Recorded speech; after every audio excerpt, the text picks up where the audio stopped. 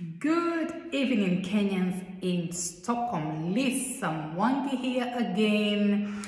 I love you with the love of Christ, and I just thought I should truth talk right now.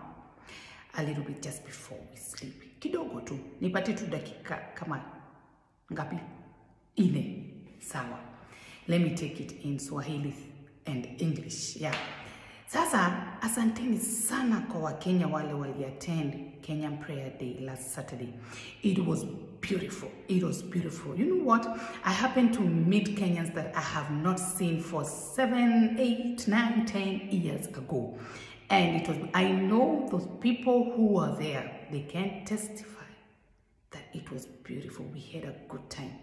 And please, you that didn't make it, there's more that is coming, and we will be informing you of any progress, any information that you need to know. And please make sure that next time you don't miss this. You don't want to be left out. Mm -hmm. You don't want to be left out. But kabla tulale, nataka tu kuongea kitu ya ukweli hapa. Inaitwa Truth Talk. 2005 when I came to Sweden. Kenyans in Sweden, we were one. One. I'm telling you, one. Kenyans, Kambas, Kikuyus, huh? Luo, Luya, Kisii, Kalenjin, name them, name all tribes. We were one. I'm telling you, Mkenya angeshikwa na jambo. We were flocking in that place. Eh? Tuna manifest hapo mpaka watu wanajua ndio Wakenya wamefika. We manifest there. Eh. Sasa, things have been different for quite a long time now, and it has been in my heart, and this has been a concern. I tried to, you know, to avoid it, to brush it off, but then this force couldn't let me. The force of unity, huh? force of love, honor, respect, hmm? name them. I was like, wow, it is high time for Kenyans to arise. We need to arise again.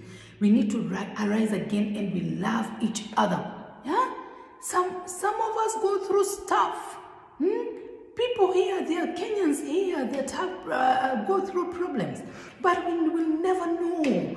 We'll never know because we are not our brother or our sister's keeper. Please, Kenyans, we need to arise again. I wish somebody knows this secret. We need to arise again. Please don't let tribalism, don't let politics divide us. We are tired. We are tired. We will not be divided again. Please, kila Mkenya jiite mkutano, jiite mkutano, jiite mkutano wake useme no enough is enough. I need to be there for my sister. I need to be there for my brother. I need to be there for that person. Huh? tafadhali tafadhali we can arise again. We can arise. Together we can. Huh? sio mtu solo peke yake. Ah, ah, tuwezi mtu peke yake. We need to come back together as one. Eh? we grow together Please, I have some friends eh, from Turkey, for uh, an example, from Turkey. They are doing things together in this country. They are doing big things. Eh? Wanachukuana, they give money and they open up a big business for one of them.